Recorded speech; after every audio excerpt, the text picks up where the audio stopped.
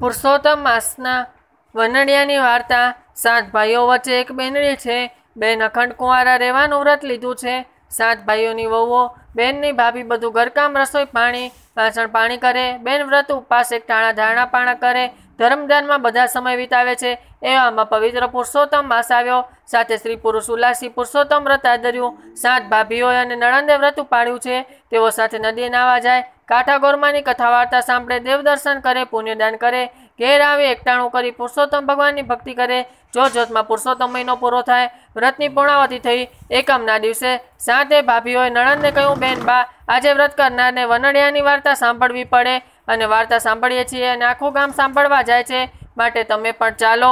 બેન કહે, હું તો નહીં આવું, કારણ કે ઈશ્વર સિવાય કોઈ પણ પુરુષ દેવનું સ્મરણ નહીં કરવાની મેં પ્રતિજ્ઞા લીધી છે. તમે ખુશીથી જાઓ બેને મૂકી સાંજ બાપીઓ વનડિયાની વાર્તા સાંભળવા ગઈ. આ તો વનડિયા દેવ. બેને તેનો અનાદર કર્યો એટલે વનડિયા દેવ તે બેન પર ક્રોધે ભરાયા. ક્રોધ આવેશમાં તે તો સતી પર કોળા કલંક મૂકવા તૈયાર થઈ ગયા. એ જ રાતે બેન પોતાના ઓરડામાં ઘસઘસાટ ઊંઘી રહી. ત્યારે વનડિયા ભમરાનું રૂપ ધારણ કરીને એક બાકોરા વાટે બેનના ખંડમાં ભરાયો. અંદર જઈને મનુષ્ય રૂપ લઈ તેણે પોતાની શક્તિથી બેનને પથારીમાં સુવાસિત ફૂલો પથાર્યા. ખંડથી અબીલ ગુલાલ છાંટ્યા અને ચારે બાજુ અતરો છંટકાવ કર્યો. વનડિયા તો વેર વળાવા ગાંઠ કર્યા કે સવારે ભાભીઓ બેનનો ઓળો જુએ તો એમ લાગે કે રાતે નણંદબા રંગ રંગ ખેલે છે અને દિવસે ડાળ ડમરા બની જાય છે. વનડિયાનું આવું ઉકડું કપાટને ભમરાનું રૂપ ઘૂં ઘૂં ઘૂં કરતો ઓડાની બહાર નીકળ્યો જાય. સવારે બેન ઉઠે અને તરત જ તેની નાની ભાભી પથારી ઉપાડવા માટે આવી. કોઈ દિવસ નહીં, અને આજે નણંદની પથારીમાં ફૂલો પથરાયેલ જોઈ અત્યારે સુગંધી આવતી જોઈ અબીલ ગુલાલ છંટકાયેલા ચોકી ગઈ.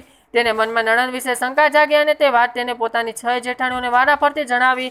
સાથે જાણીઓ ભેગીથી ચર્ચા કરવા લાગી. કહે છે, સ્ત્રીના પેટમાં ભાગ્યે જ વાત ટકે છે. આ વાત પણ એક કારણેથી બીજા કારણે બીજાથી ત્રીજે આખા ગામમાં ફેલાઈ ગઈ. હજુ સુધી બેને સાત ભાઈઓ વાતથી અજાણ હતા. એમને પણ પત્નીઓનું મીઠું મરચું ભભરાવી વાત કરી. આ તો કુળને કલંક લાગ્યો એવી વાત છે. ભાઈઓ તો જોયો જાણ્યા વગર ભલી બેન પર રોષે ભરાયા. તેઓ ભેગા થઈને બેન પાસે ગયા અને પૂછ્યું, તો બેને કહ્યું ભાઈઓ?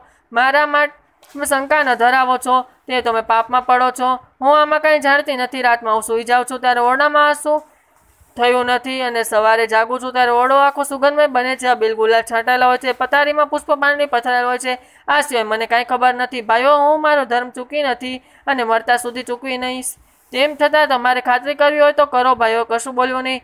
વખતે બેનની વાત સાચી પણ હોય. આથી રાતના ખાતરી કરવા નક્કી કર્યું. પોતપોતાના કામે લાગી ગયા. સાંજ પડતા સાથે ભાઈઓએ બેનના ઓરડાની પૂરી ચકાસણા કરી લીધી. પછી સાતે જણા હાથમાં ખુલ્લી તરવાર લઈ ઓરડાની આસપાસ ઊભા રહ્યા અને ત્યાં તો બેન આવી એટલે ભાઈઓ અને બેનને તમે ઓરડામાં બાણા બંધ કરી અંદરથી સાંકળ દઈ સૂઈ જાઓ. આજે અમારી નજરે નજર જોવું છે, આ બધું શું લીલા છે. બેનના પેટમાં પાપ ન હતું એ તો સૂઈ ગઈ એટલે ઓરડામાં જઈને બારણા બંધ કરી પલંગમાં સૂઈ ગઈ. બાર સાત ભાઈઓ ઉગાડી તલવારે આટા મારી રહ્યા હતા. જ્યાં રાતના બાર વાગ્યા એટલે વનડિયા ભમરાનું રૂપ લઈને ગુણગુણ કરતા બકોરા વાટે આવ્યા, બેને ઓરડામાં દાખલ થયો અને મનુષ્ય રૂપ લઈ ઓરડામાં અત્તર છાંટકાવા લાગ્યા. એકાએક ઓરડામાં અત્તરની તીવ્ર સુગંધ આવવાથી બહાર ચોકી કરી રહેલા સાતે ભાઈઓ આશ્ચર્યમાં પડી ગયા અને અંદર કોણ છે તે જાણવા સાતે જણા કમાડ તિરાડમાંથી જોયું ને અંદર એક માનવીય બિલગુલા છંટકાવ કરી રહ્યો હતો. અત્તર છાંટી રહ્યો હતો અને પાથરી પર પુષ્પમ નાખી રહ્યો હતો. બેન તો બિચારી ઘસઘસાટ ઊંઘી રહી હતી. ભાઈઓ તો વિચારમાં પડ્યા કે ઓરડામાં કોઈ રસ્તો જવાય કેમ નહીં? છતાં પુરુષ દાખલ થયો એટલે કાં જાદુગર કાં દેવ કાં હોવો જોઈએ. ઓરડામાં વનડિયા ભમરો બની બેઠો હતો અને માનવી બનીને ઓરડામાં સુવાસિત કરી પાછો ભમરો બને ત્યાં પહેલા સાતે ભાઈઓ ફટફટ કમાડો તોડી ઓરડાની ઘૂસી આવ્યા અને તલવાર ઉગામી વનડિયાને કહેવા લાગ્યા, તું કોણ છે અને શા માટે મારી ભલી બેનને ઓરડાની રાતને વખતે આવ્યો છે? સાચું બોલજે અહીંયા પુષ્પ કેમ પાથર્યા છે? બિલ ગુલાલ કેમ છાંટ્યા છે? અત્યારે કેમ છાંટવું? આવી રીતે ઓરડામાં રંગરાગ દેખાવ કરી અમારી બેન પર કૂડો કલંક લગાવનાર તું કોણ છે? સીધો જવાબ નહીં મળે તો અમે તલવાર કોઈને શરમ રાખશું નહીં. વનડિયા બોલ્યા, તમે આવી રીતે ડરાવશો? તેથી હું ડરી જવાનો તેવો નથી. હું તો વનડિયા દેવ છું. તમારી બેન મારો અનાદર કર્યો છે એટલે હું તેને કરડું છું.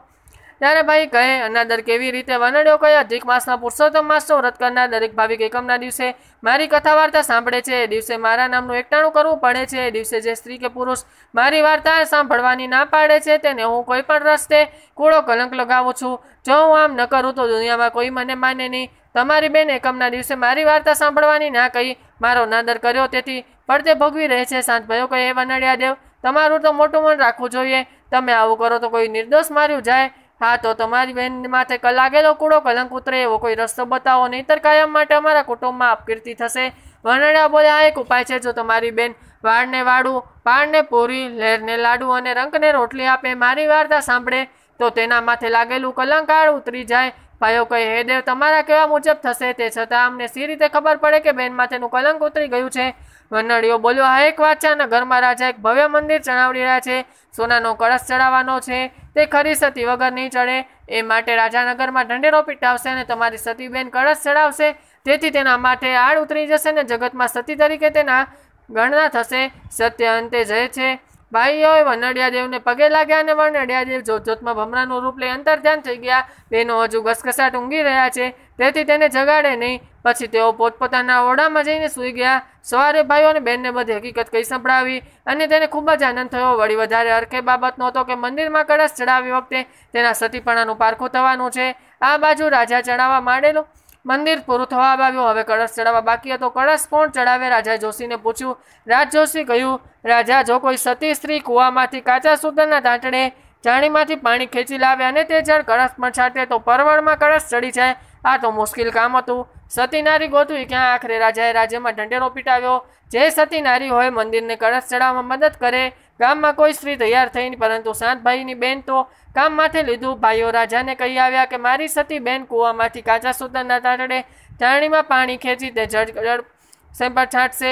રાજાએ કહ્યું, તમારી બેન પ્રથમ ગામ બહાર આવેલા કૂવાએ જાય અને ત્યાં સૂતરના તાણે ચાણીમાં પાણી ભરી લઈ સીધી મંદિરમાં આવે. ભાઈઓ બેન પાસે આવીને બેનને સૂતરના તારનું પીડલું તથા ચાણી લઈ વાતે ગાતે કૂવા કાંઠે ગઈ. ગામ લોકોએ ભારે ટીકા કરી રહ્યા હતા. સૌ કહેતા હતા કે આ સતી હશે તે આજે પારખું થઈ જશે. બેને કૂવા કાંઠે જઈ કાચા સૂતરના તાંતણે ચાણીમાં કૂવામાં ઉતરી અને થોડી વારમાં પાણી ભરેલ ચાણી કૂવામાંથી બહાર ખેંચી કાઢી. સતીનો સતનો ચમત્કાર લોટો નજરે નિહાળ્યો. કાચા સૂતરનો તાતો ચણીને બહારથી તૂટ્યો ન હતો. તેમાં ચાણીમાં અસંખ્ય છેદ હતા. છતાં તેમાં પાણી ભરેલું હતું આથી બધા નર્સનો પાર રહ્યો નહીં. બધાએ તેના પગે લાગ્યા. ભાઈઓ અને ભોજાઈઓએ પણ બેન સામે હાથ જોડી ઊભા રહ્યા. બધાએ સતીના જય જયકાર બોલાવ્યા. સતીબેન વાત તે ગાતે મંદિરમાં જવા નીકળ્યા અને હાથમાં પાણી ભરેલ ચાયણી હતી. રસ્તા પર આસપાસ સ્ત્રી પુરુષે બાળકો ટોળે ટોળે સતીના લસન કરવા ઉભેલા હતા. મંદિરમાં આગળ રાજા રાજજોશી પ્રધાન તેમજ દરબારીઓ સતીના રાહ જોતા ઊભા હતા. સતી વાતે ગાતે મંદિર આવી પહોંચ્યા. અને જાણી પણ પવિત્ર જળને સતીના કળશ પર છંટકાવ કર્યો અને તેનો સ્પર્શ કર્યો. રાજ જોશી હવે રાજને કહ્યું, રાજન, સતીનો સ્પર્શ તેમજ પવિત્ર જળના છંટકાવથી હવે કળશ હલકો ફૂલ જેવો લાગશે. માટે તે પ્રભુનું નામ લઈ ઉપર ચડાવી દો. અને રાજાએ કળશ સહેલાઈથી ઉઠાવી મંદિર પર ચડાવી દીધો અને સતીનો જય જયકાર હવામાં ગુંજી ઉઠ્યો. આમ સતીબેન માથેથી કલંક ઉતરી ગયો અને તેની મહત્તા વધી ગઈ. બધા તેનો જય જયકાર થઈ ગયો. વનડિયા તો વનડીસમાં ભાઈ બાઈની બેનને કડીશના કુડા કલંક ચડાવીશના સતમાં વ્યા જગદીશમાં તારો પ્રભુ ચરણ પાસ, મારો પ્રભુ ચરણની પાસ. પુણ્ય ફળને પાટક ટણ્યા, પુરુષોત્તમ પ્રભુ આવી મળ્યા. પુરુષોત્તમ વ્રત કે જય ગુણગાન, તે જ સદા પ્રસન્ન રહે ભગવાન. બોલ શ્રી પુરુષોત્તમ ભગવાન કી જય. વનડિયા દેવ કી જય. પુરુષોત્તમ સ્વામી સાય કાઠા ગોર માવડી